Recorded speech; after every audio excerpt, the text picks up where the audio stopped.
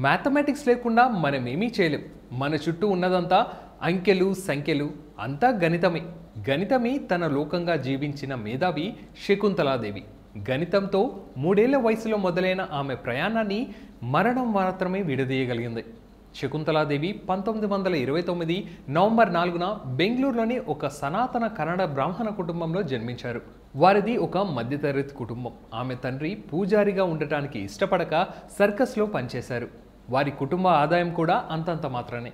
నెలకు రెండు రూపాయల ఫీజు చెల్లించలేక ఆమెకు చదువుకు దూరమయ్యారు. ఆ తర్వాత ఎప్పుడూ విశ్వవిద్యాలయంలో అడుగుపెట్టలేదు కానీ ఇవేమీ ఆమె ప్రతిభను అడ్డుకోలేకపోయాయి. ఆమెకు మూడేళ్ళ వయసు ఉన్నప్పుడు తండ్రితో పేకాట ఆడుతూ ప్రతి ఆటలోనూ గెలిచేది. ఇంత చిన్న పాప ప్రతిసారి తనపై గెలవడం తండ్రికి ఆశ్చర్యం కలిగించింది. తన కూతురు మోసం చేస్తుందేమోనని అనుమానం కలిగించింది. అన్ని జాగ్రత్తలు తీసుకొని ఆడినా ఆమె విజయం సాధించేది. చివరకు పేక ముక్కలన్నిటినీ గుర్తుపెట్టుకోవడం వల్లనే శకుంతల గెలుస్తూ వస్తుందని గుర్తించారు. ఆమె అద్భుత జ్ఞాపక శక్తిని ఆమె తండ్రి కుటుంబానికి ఉపాధిగా ఉపయోగించుకోవాలనుకున్నారు. ఆమెతో అనేక ప్రదర్శనలు ఇప్పించారు. అలా ఆమె ప్రతిభ విశ్వవిద్యాలయాలకు చేరింది. ఆరేళ్ళ వయసులో తొలిసారిగా యూనివర్సిటీ ఆఫ్ మైసూర్లో ప్రదర్శన ఇచ్చింది. ఆ తర్వాత రెండేళ్ళకు అన్నామలై విశ్వవిద్యాలయంలో ఆ తర్వాత ఉస్మానియా ఆంధ్ర విశ్వవిద్యాలయాల్లో బాల మేధావిగా ఆమె పేరు మారుమోగిపోయింది. గణితంలో ఆమెకు ఉన్న పట్టు చూసి మహామహా మేధావులే ఆశ్చర్యపోయేవారు. శకుంతలాదేవికి లెక్కలంటే ఏమాత్రం లెక్కలేదు. ఎంత పెద్ద సమస్య అయినా ఆమె చిటికలో పరిష్కరించేవారు. తన ప్రతిభను ప్రదర్శించేందుకు ఆమె పంతొమ్మిది వందల నలభై నాలుగులో తండ్రితో కలిసి లండన్ చేరుకున్నారు.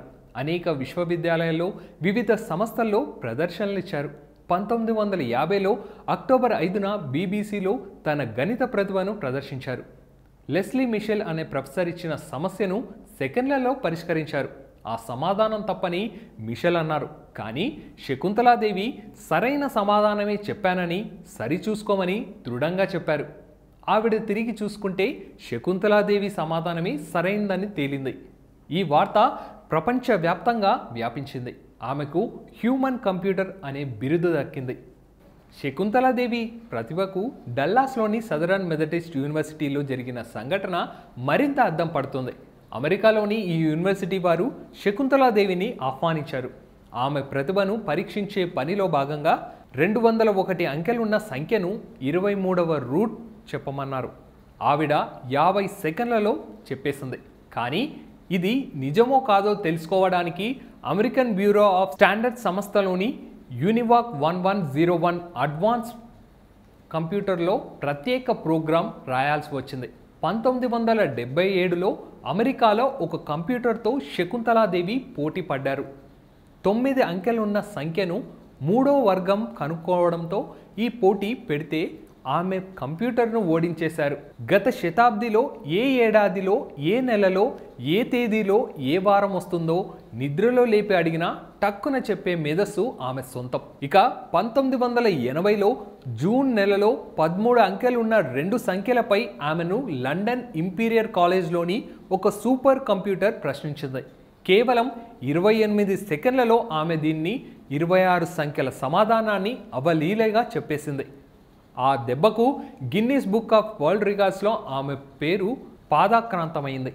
యూనివర్సిటీ ఆఫ్ కాలిఫోర్నియాకు చెందిన మానసిక శాస్త్ర ప్రొఫెసర్ ఆర్థర్ జాన్సన్ స్వయంగా శకుంతలాదేవి గణిత ప్రతిభను పరిశీలించి అవాక్కయ్యారు.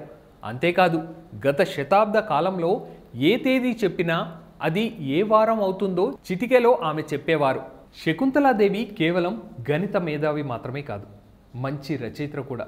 స్వలింగ సంపర్కంపై భారతదేశంలో తొలి సమగ్ర రచన అయిన the world of homosexuality Shakuntala Devi రాసిందే. దీంతోపాటు గణితం జ్యోతిష్యంపై అనేక పుస్తకాలు రాశారు. ఆమె తన జీవితకాలంలో ఎన్నో ప్రముఖమైన పురస్కారాలు అవార్డులు పొందారు. యూనివర్సిటీ ఆఫ్ ఫిలిప్పీన్స్ పంతొమ్మిది వందల ఎనభై తొమ్మిదిలో శకుంతలాదేవికి most distinguish woman of the year award ఇచ్చింది. వాషింగ్టన్ డీసీ పంతొమ్మిది వందల ఎనభై ఎనిమిదిలో రామానుజన్ మ్యాథమెటికల్ జీనియస్ అవార్డును ప్రదానం చేసింది.